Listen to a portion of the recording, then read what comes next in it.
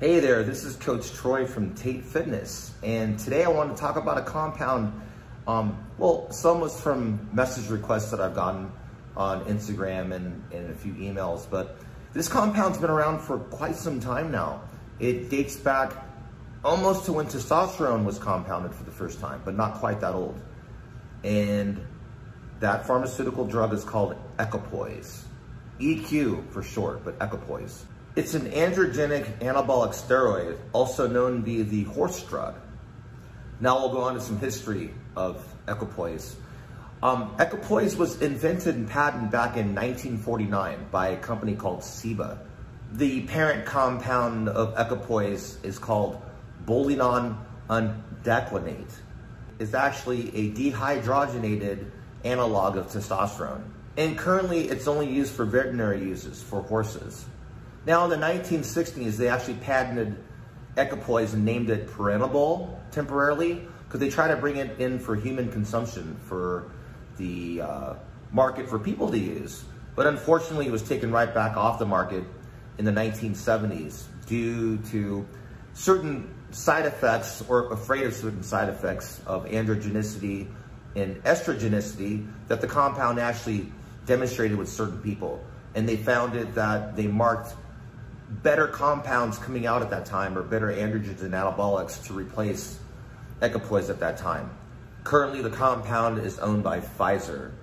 So Pfizer owns the rights to equipoise and it's still only used for veterinary uses for horses. Now we'll go on to some of the medical uses of equipoise. Um, they use it for disease wasting cachectic states on patients. Um, they also use it for um, post or osteoporosis for women and for pre and post operable patients uh, due to losing muscle before and after surgery. Now we'll go on to some of the pharmacology and chemical structure of equipoise. Um, like I mentioned earlier in this video, it's a dehydrogenated analog of testosterone. So basically, a, a double bond between carbon 1 and carbon 2 uh, the way it's positioned, is one of the only differences between equipoise versus testosterone. And also, equipoise has the addition of the carbolic acid ester and added to the 17th beta hydroxy group, which initially makes this compound very long lasting. Uh, the half-life is incredible with this compound. It's got a 14 to 28 day half-life, um, much longer than testosterone enanthate or testosterone cypionate which has a six to eight day, maybe 10 day cleaving as far as how long it's in the system. But equipoise, like I mentioned, it can be up to some patients 30 days in the system.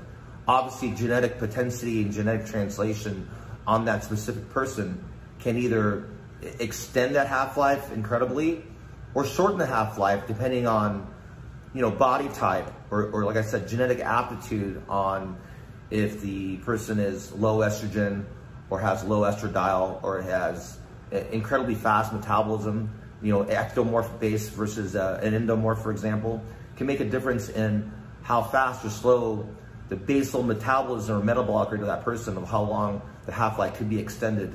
And that's with, you know, pretty much any compound.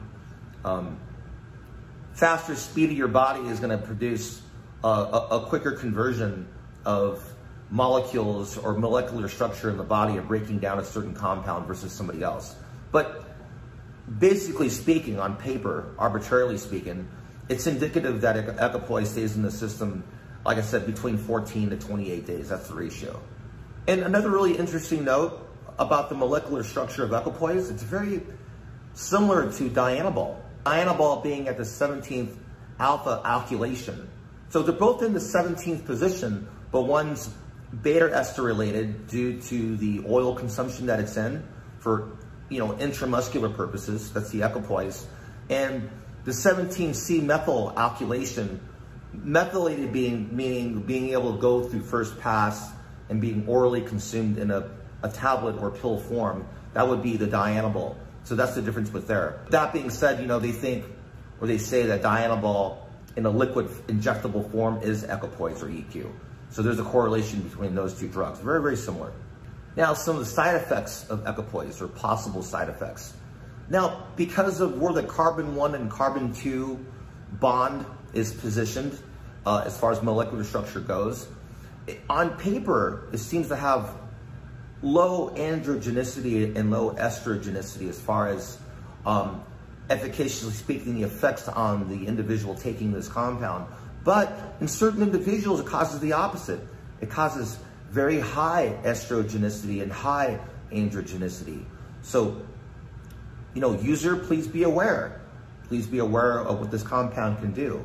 So, uh, I would be very ill-advised on anybody just starting up a cycle. And I'm not, like I said, I'm not condoning people to go use equipoise or testosterone or, or whatever it is. But be very mindful and be very careful before starting a program and have a big knowledge base and get your blood plasma levels and your, like I said, your blood panels checked before you start implementing anything like this in your regimen.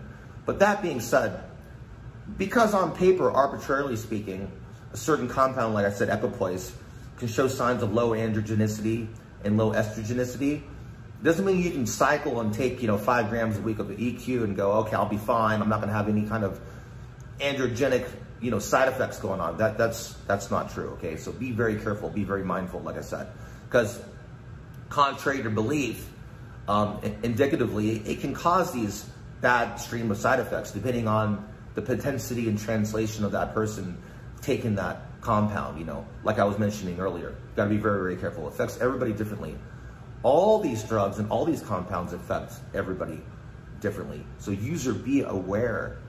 Please be aware. Be very careful. Also to take notation that equipoise as a compound is always usually mixed with another compound. And everybody, I won't say everybody, but a lot of people use testosterone as a base and they use equipoise with testosterone. That's very, very common is you use these compounds together. But the thing is, testosterone can exacerbate the androgenicity and estrogenicity effects of equipoise in someone's physique or someone's body.